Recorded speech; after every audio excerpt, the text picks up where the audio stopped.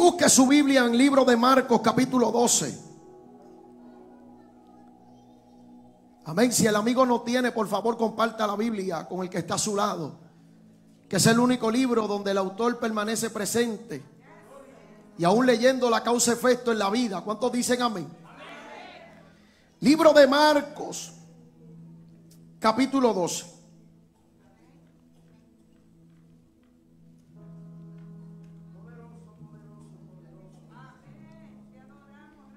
Esto es parte de una secuencia del mensaje de ayer. Vaya conmigo al verso 41 en adelante.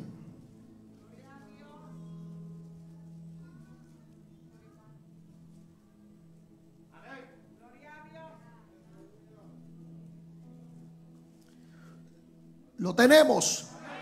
Lo tenemos. Así dicta la voz de Dios grabada en páginas. A la altura del libro de Marcos capítulo 12, verso 41 en adelante. Los que esperan oír voz de Dios dicen. Estando Jesús sentado delante del arca de la ofrenda, miraba como el pueblo echaba dinero en el arca. Y muchos ricos echaban. Y vino una viuda y echó dos blancas, o sea, un cuadrante. Entonces llamando, llamando a sus discípulos les dijo, de cierto os digo, que esta viuda pobre echó más que todos los que han echado en el arca. Contraproducente, ¿verdad? Porque todos los que, todos han echado de lo que les sobra. Pero esta, de su pobreza echó todo lo que tenía. Todo su sustento. Demos gracias. Diga conmigo, gracias Señor, por tu palabra, porque es bendición.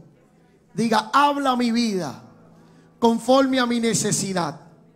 Recibiré lo que tú tienes para mí en el nombre de Jesús. Puede tomar asiento, voy a aprovechar bien el tiempo. Pero no antes quiero saludar al hijo del pastor, su familia que está presente, que para ellos debe ser un gran regocijo. Y, me uno a su alegría. Amén. Gloria al Señor. Les saludamos. Y saludamos los amigos, los hermanos, las visitas. Amén. Que después de Dios, que quiero que usted entienda bien esto. Después de Dios, usted es la persona más importante en este lugar. Oiga, mira qué privilegio Dios le entrega. Como bien dije, amados hermanos, voy a aprovechar bien el tiempo. Y es parte de una secuencia del mensaje de ayer y yo quiero que usted comparte el tema con el que está a su lado y le diga todo o nada.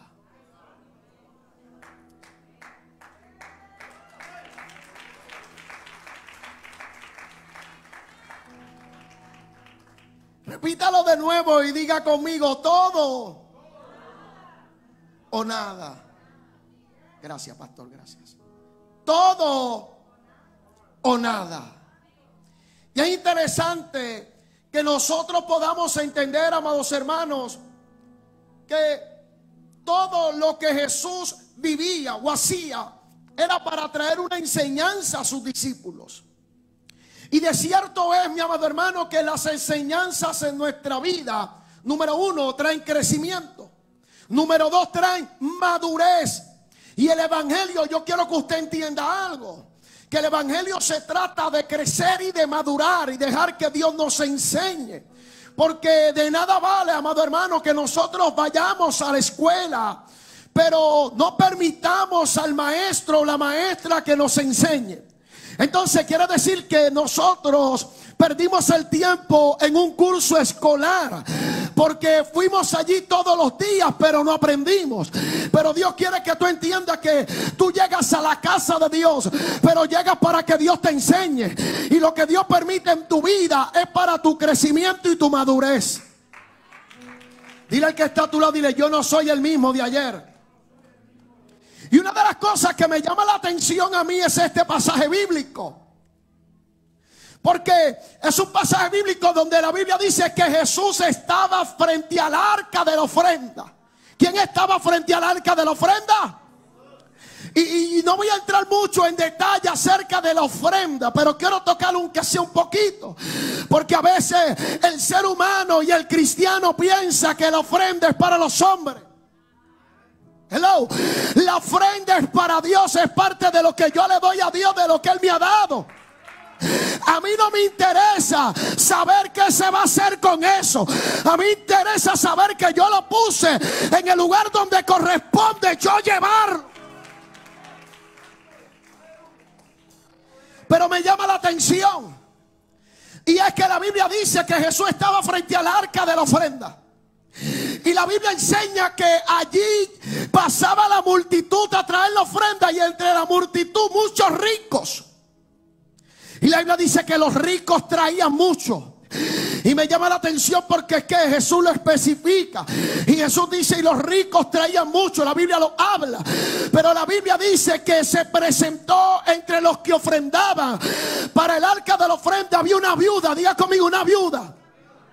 Y la Biblia dice que esta viuda Luis, dice la Biblia que dio dos denarios que representan un, un cuadrante. Y lo impresionante de todo esto que Jesús, sabiendo la intriga de los discípulos, les habla y los reúne. Y les dice, yo quiero que usted entienda algo, que entre todos los que han pasado, esa viuda dio más que todos. Y voy a comenzar porque a veces nosotros pensamos, yo siento Dios, que da más el que tiene las manos llenas, pero de nada vale tener manos llenas y corazón vacío. este mensaje no es tan solamente de la ofrenda. Este mensaje trata del corazón, mi amado hermano. Y algo que tenemos que entender, que puede ser que todo.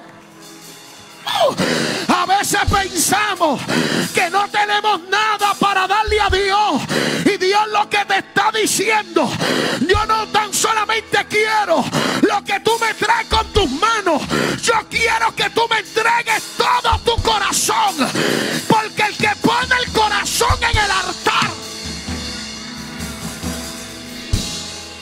Veces como seres humanos nos sentimos mal. A veces como seres humanos pensamos que no tenemos nada que darle a Dios. Nos vemos como personas y seres humanos insignificantes. Pero yo quiero que tú entiendas algo. Dios no te está pidiendo algo que tú no le puedas dar. Dios no te está pidiendo algo que tú no tengas. Tengo manos vacías, pero tengo un corazón para darle a Dios completo. Tengo la alacena vacía, pero tengo un corazón para dárselo a Dios. A lo mejor no tengo mucho, pero tengo un corazón grande para depositárselo. Y así hay personas que Dios le está diciendo en esta mañana, lo que yo quiero de ti es tu corazón. Lo que yo quiero que tú me traigas. Lo que yo quiero que tú me rindas. Lo que yo quiero que tú me entregues. Donde yo quiero trabajar. Donde yo quiero habitar. Donde yo quiero restaurar. Donde yo quiero sanar. Donde yo quiero bendecir. Donde yo quiero hacer. Es en tu corazón.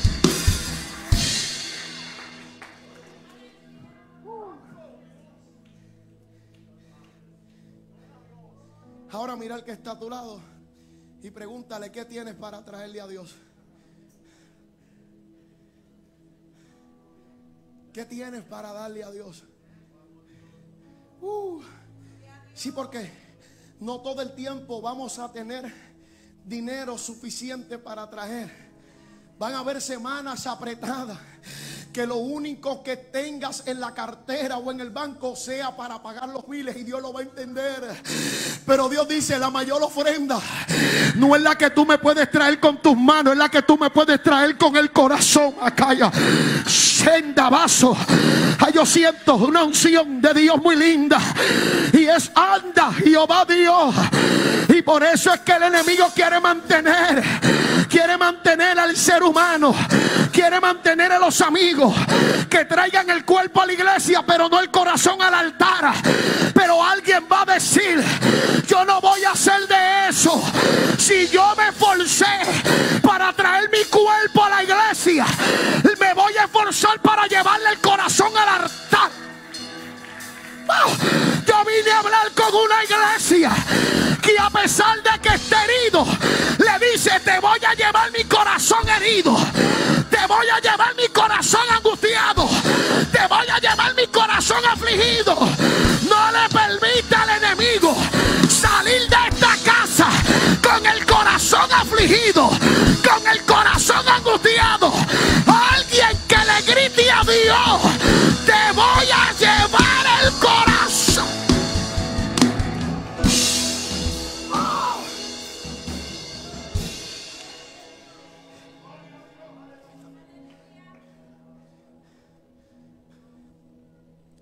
Entonces el día que tú pienses que no tienes nada que darle a Dios, recuerda que lo que tú tienes no está en tu exterior, está en tu interior.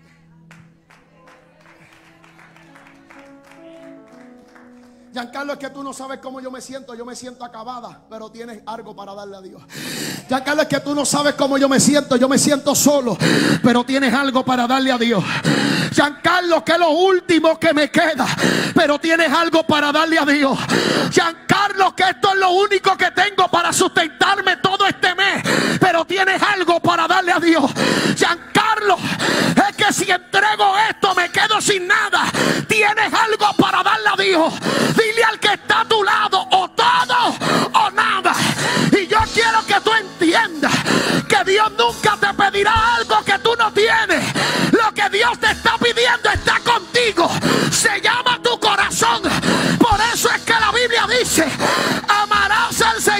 Dios con todo. Con todo. Con todo. Yo no lo amo de labio. Yo lo amo. Yo no le sirvo de labio. Yo le sirvo. Amarás al Señor tu Dios. Con todo. Alguien que diga, yo no lo amo de labios, yo lo amo de... Yo no le agradezco solamente de labios, yo le agradezco con él.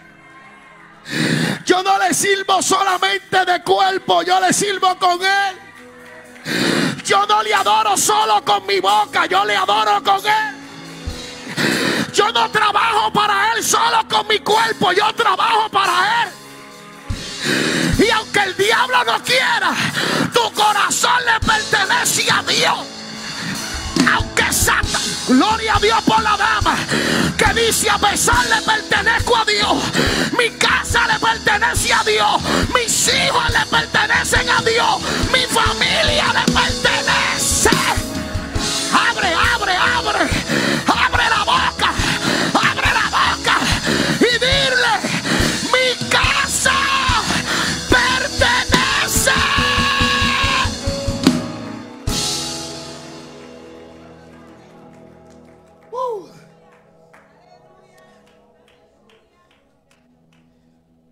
Oiga, siento.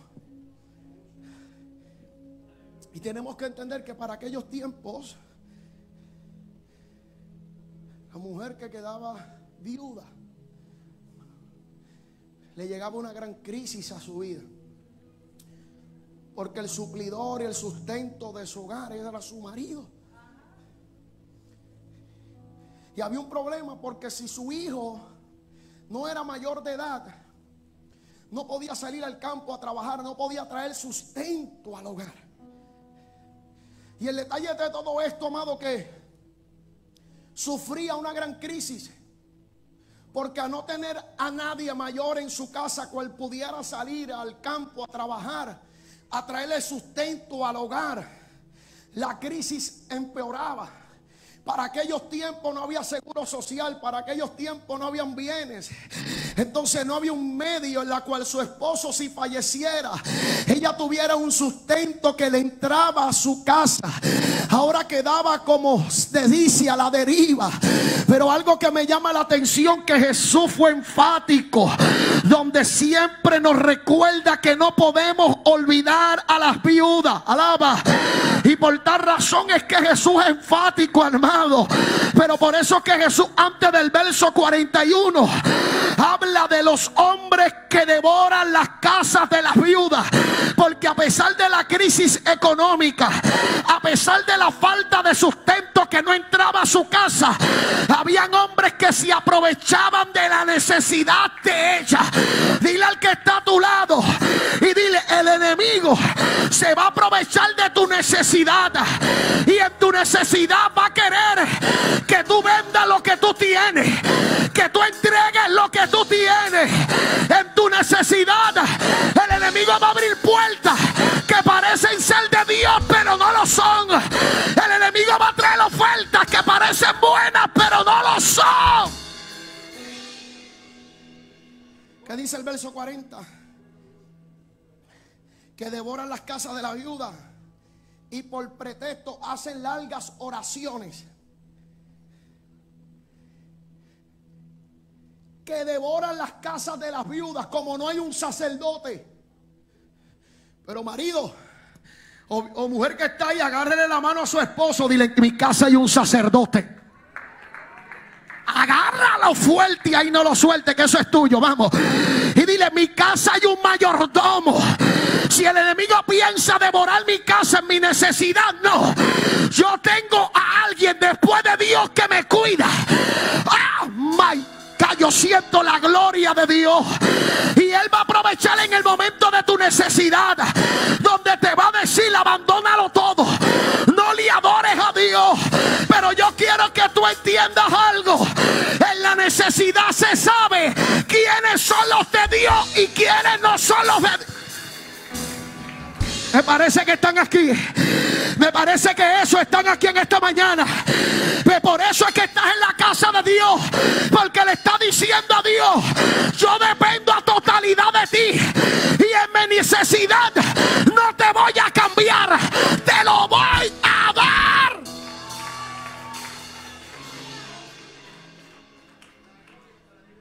Entonces lo que me llama la atención a mí es que en esta ocasión Jesús presenta un escenario donde hay un, momento donde se presentan a traer ofrendas. Y entre los que traen ofrenda, la viuda trae la ofrenda. Pero la Biblia me llama que en una ocasión en el Antiguo Testamento había un hombre llamado Elías. Y la Biblia dice que Elías estaba en el arroyo de Querí. Y dice la Biblia que allí Dios enviaba los cuervos y les sustentaba. Pero la Biblia dice que ya el arroyo se había secado y ya Dios tenía otros planes con él. Y Dios le dice, Elías, levántate y vete a hacer esta de Sidón. Lo siento a Dios. Porque allí yo le he dado orden a una mujer a que te sustente. Mira qué terrible. El hombre que sabe escuchar la voz de Dios, escuchó la voz de Dios que le dio. Elías, levántate, sal del arroyo de Querí. Elías estaba cómodo, en sequía, pero sustentado. Y ahora Dios le dice, levántate. Ahora camina a ser esta de Sidón que yo le he dado orden a una. Pero cuando entra por la ciudad de Seresta de Sidón hay una mujer, cierto es, número dos que es viuda y número tres que lo poco que tiene es para ella y su hijo echarse a morir.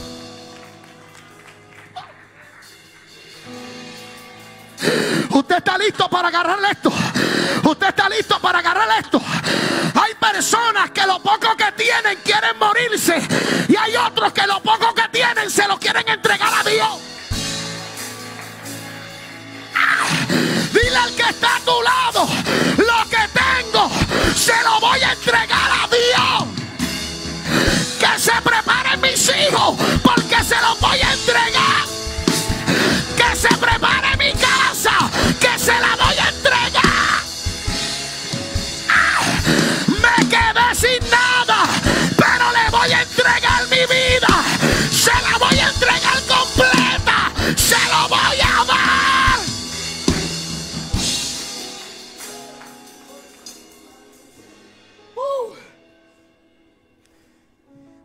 Pasajes bíblicos, dos viudas diferentes en tiempos diferentes pero a las dos les queda poco. Hay una que cuando el profeta llega, Dios le habló, Dios le dijo, vete que te va a sustentar. imagino que cuando Elías entró la reconoció, esta es. Le dijo, ¿me puedes traer un poco de agua? Ella muy amable, muy cariñosa, muy servicial, fue en busca del vaso Pero cuando ella va camino en busca de lo que él le pide, él le dice, detente, porque aparte de que tengo sed, tengo hambre. Uh. oh, pero ahí como que ella la enfrenta y le dice, ahí tienes problemas. No te metas con lo poco que tengo. Y así hay gente que Dios le está pidiendo que haga, pero le dicen a Dios, me siento imposibilitado. Estoy de brazos cruzados porque en este momento no puedo,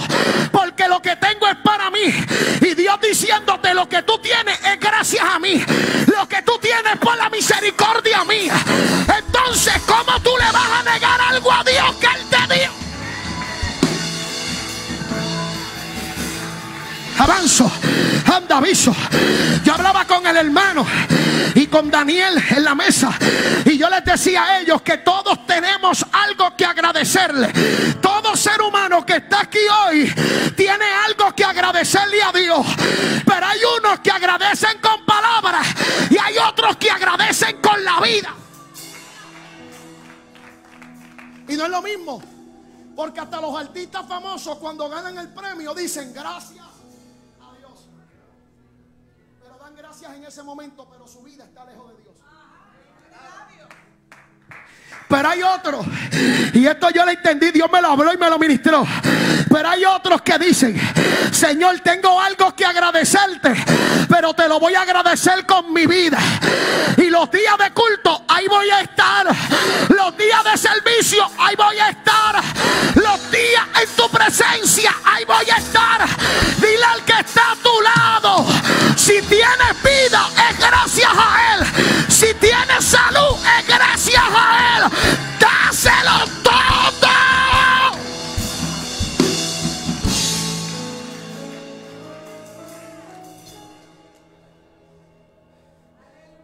visto personas o familiares, hermano, que están muy enfermos, graves en el hospital y le solicitan a usted la oración y usted ora y Dios le sana. Pero salen del hospital y van a su vida y no pasan a la casa del Señor. Uh, y qué fuerte es el corazón de Dios, hermano. Que, porque Dios sabe que se van a ir, pero como quiera Dios les sana. Mm. ¿Cómo se sentirá usted que ayude a una persona, que, que usted le haga algo que esa persona estaba a punto de, de, algo crítico, usted le ayudó y la persona pues le dijo gracias en ese momento y después cuando te ven y te mira, no se recuerda de usted, ¿cómo usted se va a sentir? Gracias a la pastora, ¿cómo usted se va a sentir? Entonces, ¿cómo se siente Dios que te brinda de favores y cuando Él espera verte en tu casa, tú no estás? Porque yo quiero decirte algo, que aunque Dios no haya contestado las peticiones y oraciones especiales que tú tienes, no significa que Dios no te haya llenado de favores. Tan solo con abrir los ojos en la mañana. Cuando tú abres los ojos en la mañana y entiendes que no fue por la alarma, que no fue por ti, que fue gracias a Dios, le dices a Dios, hoy me verás el altar. Hoy me verá en tu presencia. Hoy me verá. Sí, porque el ser humano piensa que todo lo que tiene es porque lo merece. Uh. Nosotros los seres humanos pensamos que todo lo que Dios nos ha dado es porque lo merecíamos. Hermano, si usted entendiera y supiera que nada de lo que tenemos, gracias a Dios, lo merecíamos aún ni su perdón.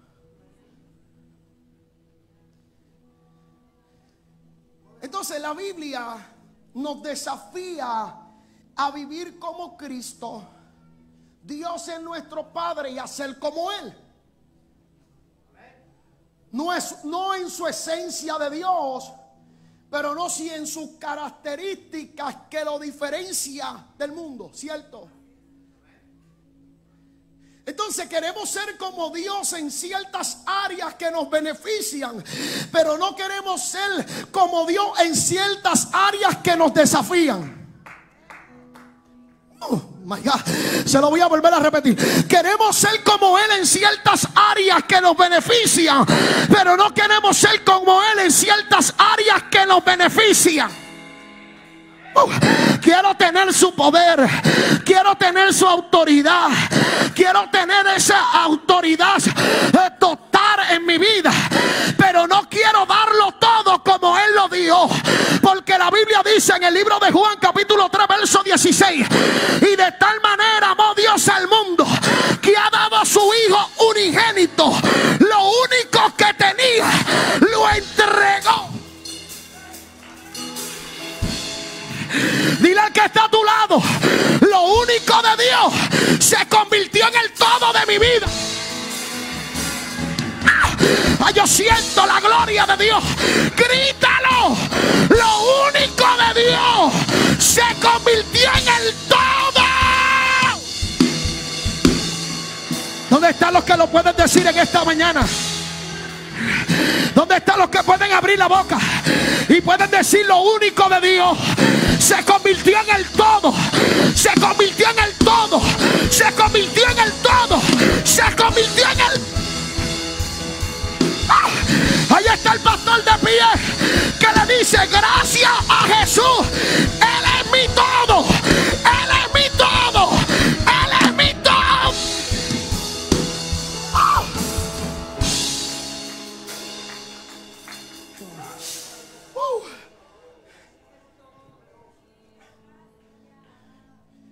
Que el día que te falte algo que tú necesitas, no te sientas incompleto. Tú no eres completado por aquello que se te añade. Tú eres completado por el Hijo de Dios que vino.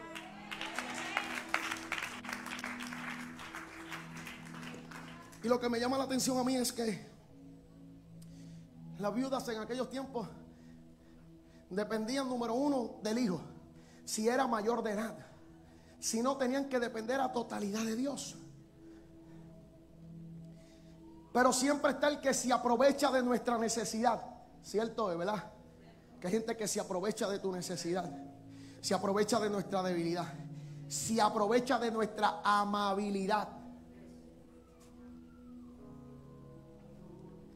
Y así hay gente que se aprovecha de la misericordia. Uh, por eso que el pastor dijo, no es mañana, porque es que nadie tiene un mañana seguro. No, no, hermano. Le servimos a un Dios y si Él nos da vida en el mañana podemos hacer ciertas cosas. Pero si Dios permite que hoy es el día de levantarnos y de irnos. Entonces, entendiendo que cuando Elías le dice, dame de comer porque tengo hambre. Y le dijo, bueno, puede ser que tú seas el profeta de Dios. Se ha escuchado de ti que bota fuego. Se escucha de ti que cuando clama el fuego desciende y quema. Por eso a mí no me impresiona. Yo parafraseando, llevándome en esta historia. Y Elías un poco preocupado porque Dios le dijo, sal de allí, allí estaba cómodo. No tenía que moverse y la comida le llegaba. Pero cuando Dios te saca de tu comodidad,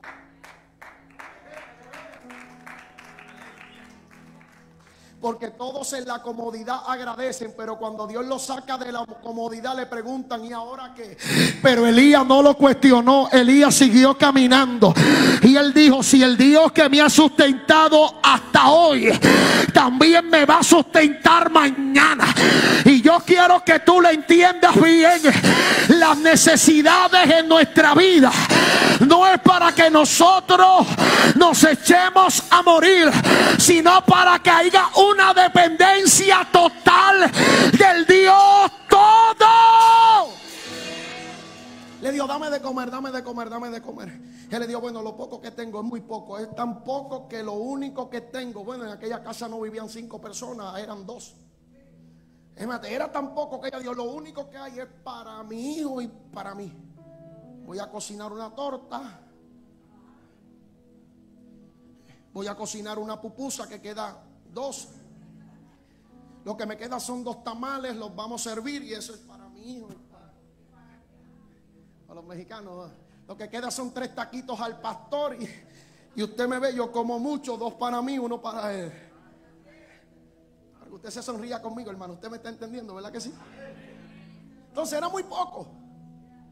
Muy poco en sus manos, pero para Dios era mucho. O muy poco en sus manos, pero para Dios era lo necesario. Eso es lo extraordinario de nuestro Dios. Que lo que tú piensas que es poco, Dios dice, es lo necesario. Por eso que cuando Moisés le dijo, ¿y ahora qué vamos a hacer? ¿Cómo nos vas a sacar de aquí? ¿Cómo vamos a seguir? Y él le dijo, lo necesario lo tienes en tus manos. Lo necesario está contigo. ¡Ah! Ay, yo siento la gloria de Dios. Por eso fue que cuando Pablo y Silas los apresaron y los llevaron al calabozo, no se preocuparon. ¿Por qué? Porque ellos dijeron, estamos presos, pero tenemos lo necesario. Tengo lo necesario. Tengo.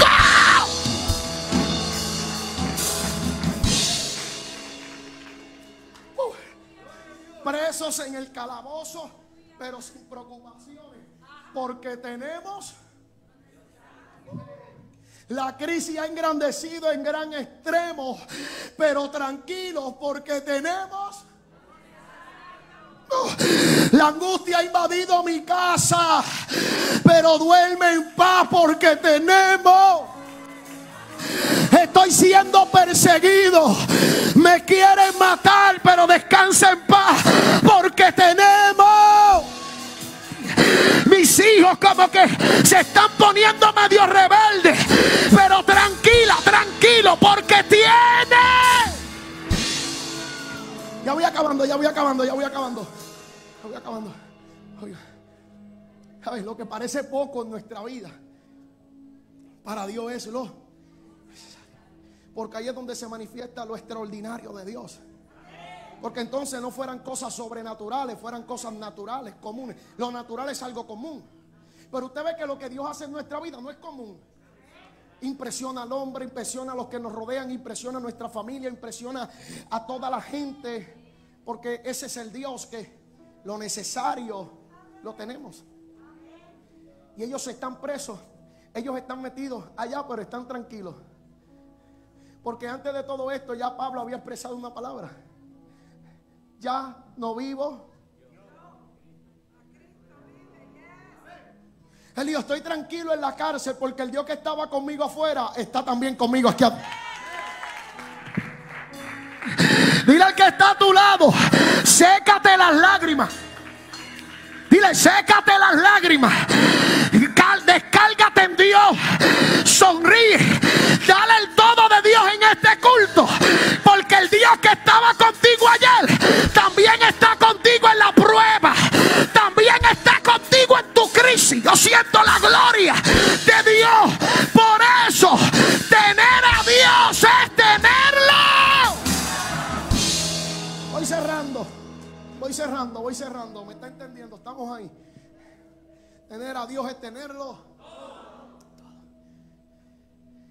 Por eso es que le dice, dame, no, lo poco que tengo es para mi hijo y para mí, para echarnos a morir.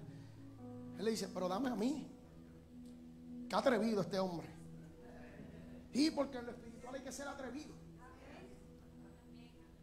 A lo mejor ella dijo, este hombre no tiene sentimiento, no sabe que me voy a morir y me está diciendo que le el primero. Me voy a morir más rápido. Porque si no me muero por el tiempo, me muero de hambre. Y él le dice, dame a mí. Cuando tú te encargas de darle a Dios primero. Oh my God. Cuando tú te encargas de darle las primicias a Dios. No tan solo en lo económico, sino en el tiempo. Ah. porque somos, hay gente que se ha convertido expertos en darle a Dios primados en lo económico, pero han olvidado que las primicias también tienen que ver con el tiempo. Y así piensa el mundo y el mundo quiere traerle ese sistema a nuestra vida. Usted ve que aún los artistas ofrendan en las iglesias, diezman, pero ellos piensan que con eso tienen el cielo gano. Y Dios dice, con el dinero tú no me compras, pero con el corazón en mí tú tienes las puertas del cielo abiertas. Dile al que está a tu lado, yo no quiero comprar a Dios, yo quiero vivir con Dios. Díselo, dile al que está a tu lado, dile, yo no quiero comprarlo, yo quiero vivir. Oiga, y por eso es que tenemos que entender, ella le da de comer, él come. Y usted sabe que después de todo eso se multiplicó, que no faltó. ¿Cuántas veces Dios está sorprendido de esa manera? Que tú no sabes cómo, cuándo y de repente. Los de repente de Dios son impresionantes en nuestra vida. Oiga, oiga, dile que está a tu lado, esos de repente de Dios me agradan. Dile, dile que está a tu lado, esos de repente de Dios me agradan. Dile, dile que está tu lado. Esos de repente de Dios me agradan. Por eso tenemos que entender que la Biblia enseña que el que no se despoje de todo no es digno.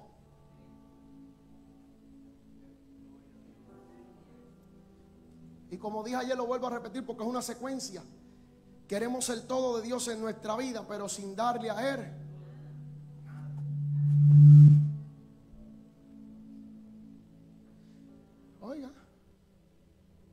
sin darle a Él nada. Por eso que Dios a veces tiene que interrumpir nuestra vida cotidiana para hacernos entender. Porque ya hay cristianos programados, hay hermanos programados, hay seres humanos programados. ¿Lo digo o no lo digo? Pues ya estoy acabando, lo que me quedan son 10 minutos. Las iglesias se llenan en Semana Santa. Después de Semana Santa, Ahora, y esto Dios me lo ministró, yo estando en Delaware, Dios me ministra esto tan terrible. Y Dios me dice, ¿acaso lo que mi hijo hizo en la cruz del Calvario equivale a una Semana Santa? ¿O a una vida santa? Entonces, hay gente que lo honra en una semana, pero hay otros que lo honran con una vida.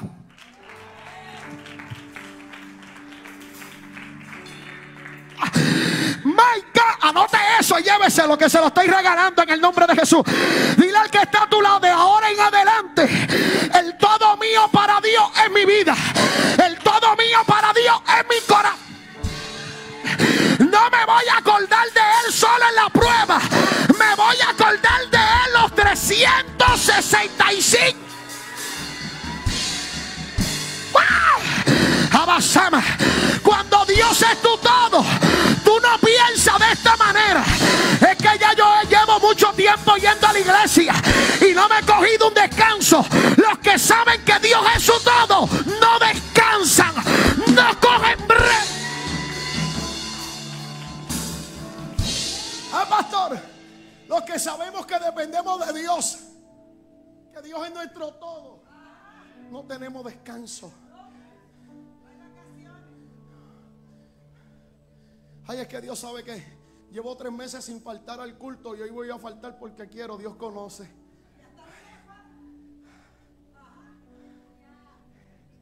Hablaba con el hermano. Llega verano y las iglesias se vacían. Llega invierno.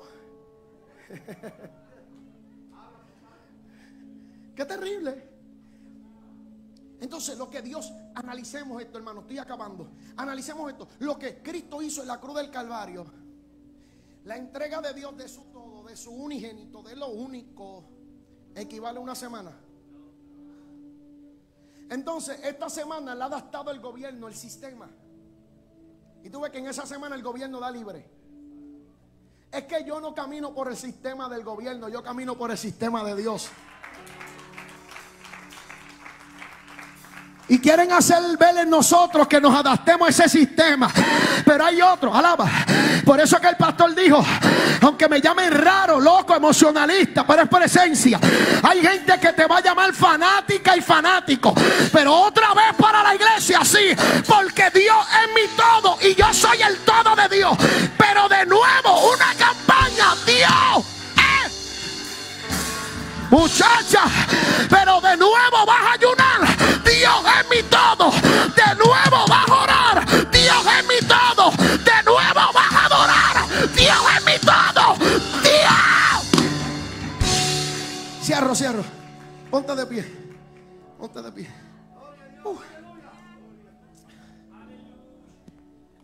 Que me llamen fanático, fanática, loco falta de ética. Ay, ya se de Para ser fanático de un artista, un hombre en la tierra, soy fanático de Dios. ¿Se entiende? Y con esto cierro a los amigos de la iglesia. Hermano, ¿a cuánto le pasó que iba a un, a un party, a, a una fiesta de esta y gritabas y gritabas y cuando llegabas a tu casa, sin voz? Pero te levantaste sin voz y te invitaron de nuevo y te fuiste. No, no, no puedo subir mi voz muy fuerte a adorar a Dios porque es que la amígdala me duele. Ah, pero no te dolía para gritarle.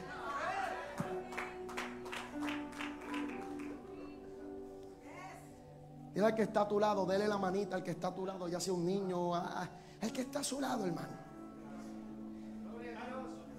Y dígale, para Dios, todo nada. Oiga, la Biblia dice, cerrando aquí, la Biblia dice que Dios bendice al dador. Por eso que hay que dar todo lo que se haga es con Él. Ese es nuestro todo este. Y yo sé que todos nosotros hemos vivido momentos duros, hermano. Como le llega a usted, me llega a mí. yo no soy más espiritual que usted. Porque sea predicador, Dios no me evita de ciertas pruebas. Las mismas que te suceden a ti me suceden a mí.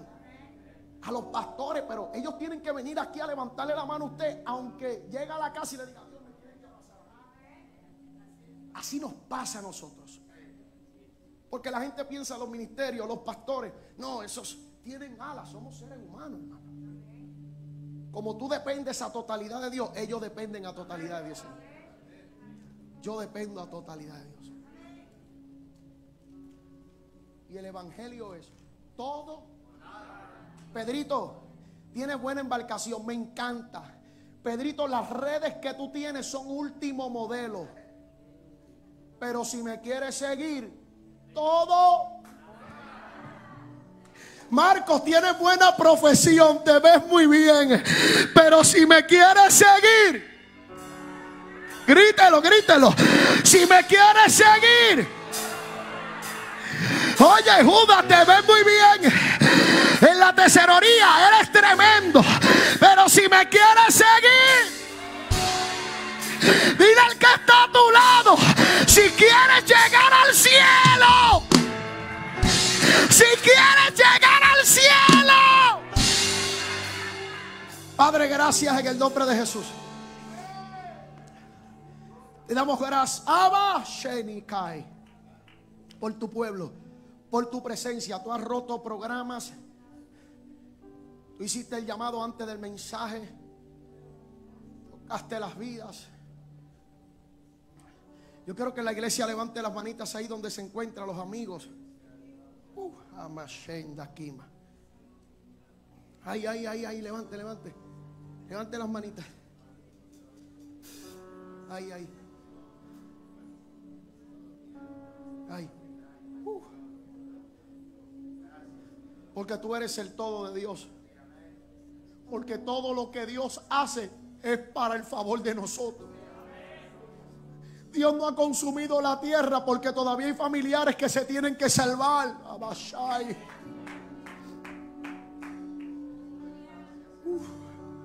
Padre Dios mío, mira este pueblo que ha recibido tu palabra.